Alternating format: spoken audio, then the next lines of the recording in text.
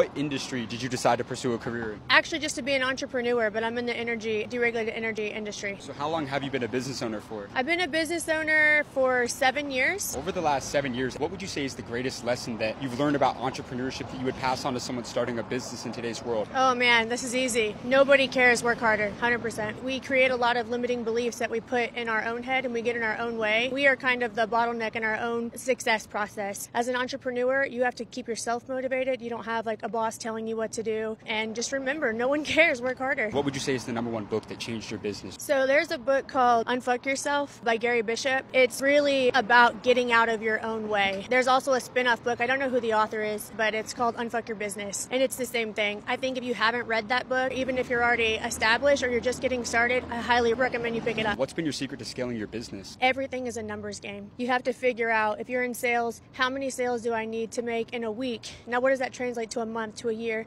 to get to 100,000 or 500,000 or to a million? Everything is scalable. Everything is a numbers game. Take a step back, set those short term goals, long term goals, and, and know what your numbers are.